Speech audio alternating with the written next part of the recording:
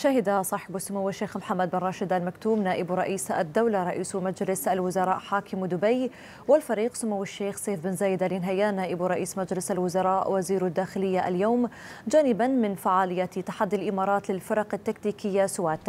الذي تنظمه وزارة الداخلية بالتعاون مع القيادة العامة لشرطة دبي في منطقة الروية بدبي من التاسع حتى الثالث عشر من الشهر الحالي. وأدى عدد من الفرق الشرطية العربية والأجنبية تجربة عملية عكست المهارة البدنية والخبرة والحضور السريع للأفراد المشاركين في عملية مكافحة الإرهاب وإنقاذ المصابين في العملية والقضاء على العناصر الإرهابية خلال زمن قياسي.